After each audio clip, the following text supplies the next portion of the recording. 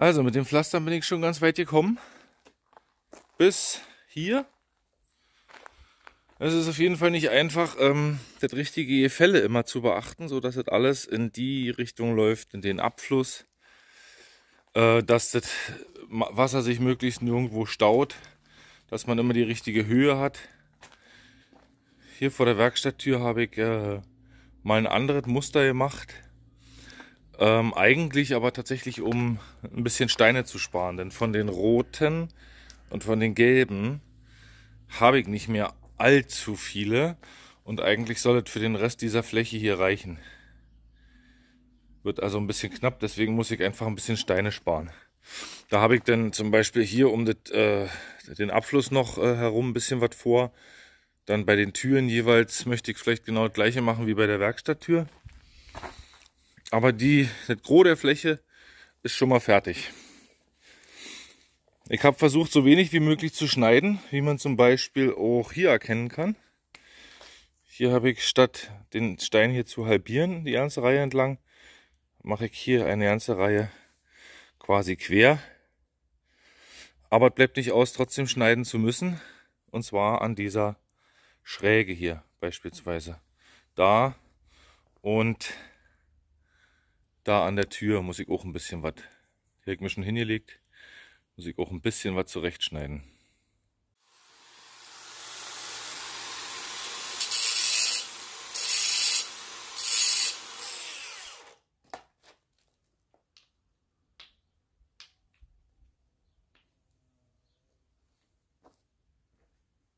Oh. So, jetzt kommen vorerst die letzten Steine rein. Hier einer. Hoffen wir mal, die passen auch. Schade. Wäre blöd, wenn nicht.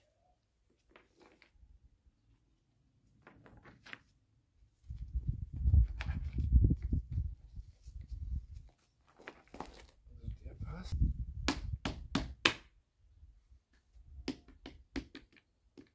Passt. Oh.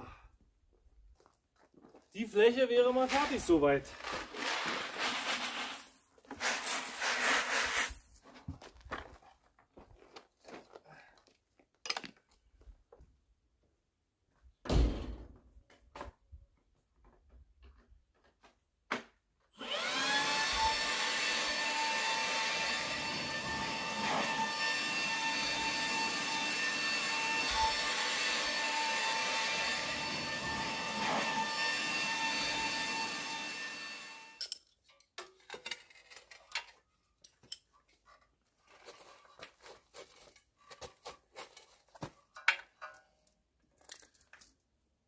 Jetzt kommt wieder die Gummimatte drunter montiert.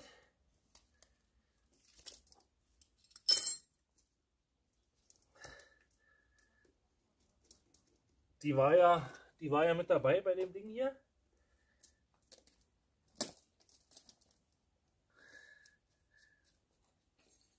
Also kann die hier ran.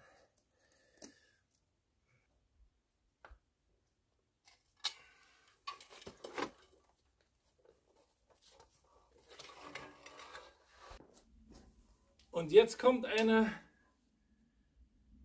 dankbare, entspannende, aber trotzdem nicht einfache Aufgabe. Und zwar irgendwie die ganzen Steine plätten. Also mit dem Plätteisen hier, mit dem Verdichter. Äh, ich habe das noch nie gemacht, also mal schauen, wie es funktioniert. Also ich, ich glaube, gehört zu haben, dass man diagonal verdichten soll. So dass die Steine eben nicht immer zwei Reihen oder drei Reihen äh, quasi reingedrückt werden, sondern dass die immer schön diagonal ähm, verdichtet werden. Probieren.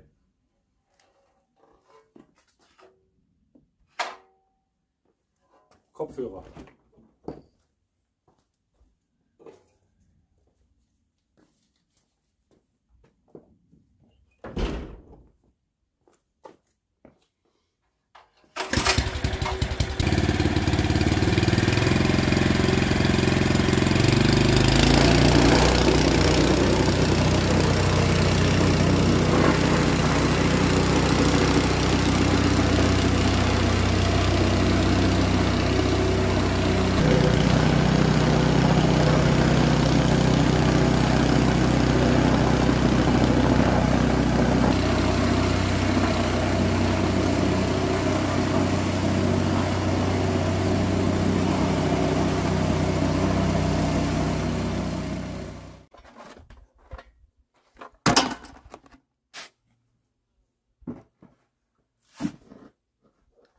Das ist jetzt der feine Sand. Oder Bruchsplit oder wie sich wie das Zeug heißt. Ähm, was in die Ritzen eingefegt wird. Der ist so schön fein. Der fließt in alle Ritzen und verfüllt das Ganze. Auch das habe ich noch nicht gemacht. Mal schauen, wie sowas funktioniert.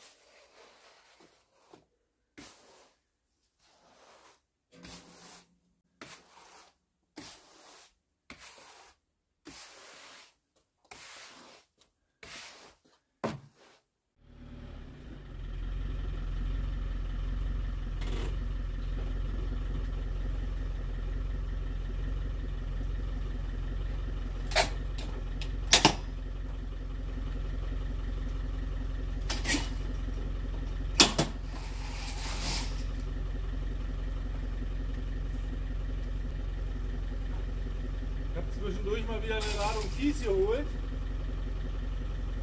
Das brauche ich ja immer für Beton machen.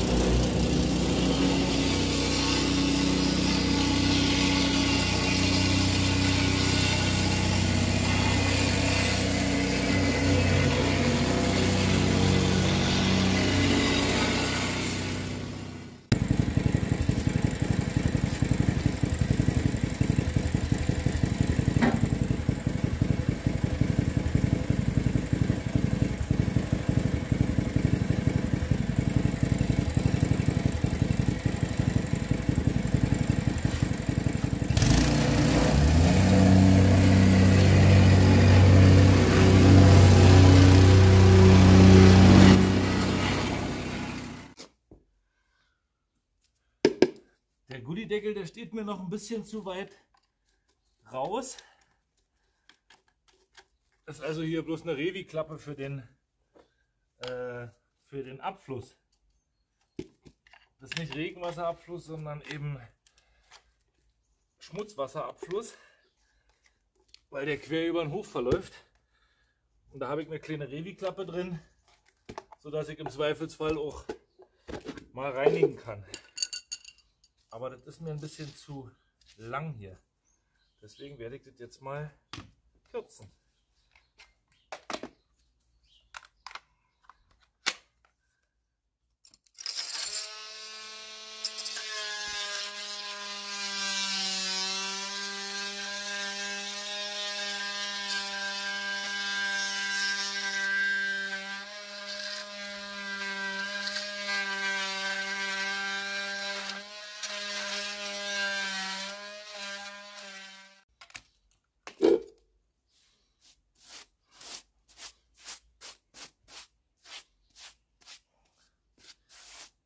So. Passt natürlich der Deckel nicht mehr ganz. Der ist ein bisschen zu lang, der Rand.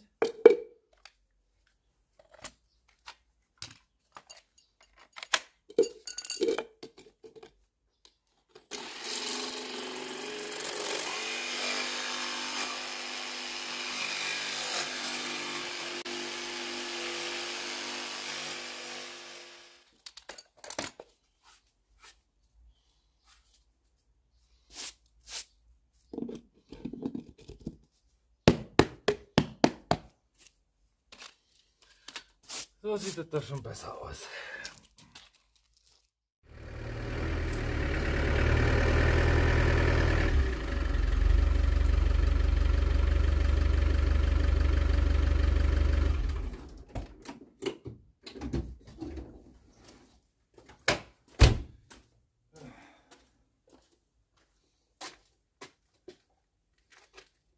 Ich muss ja jetzt noch mal losfahren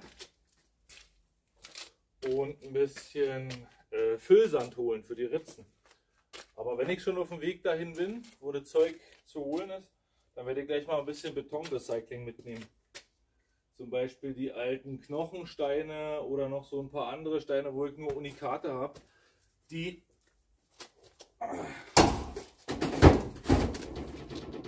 die ich nicht mehr wirklich brauche.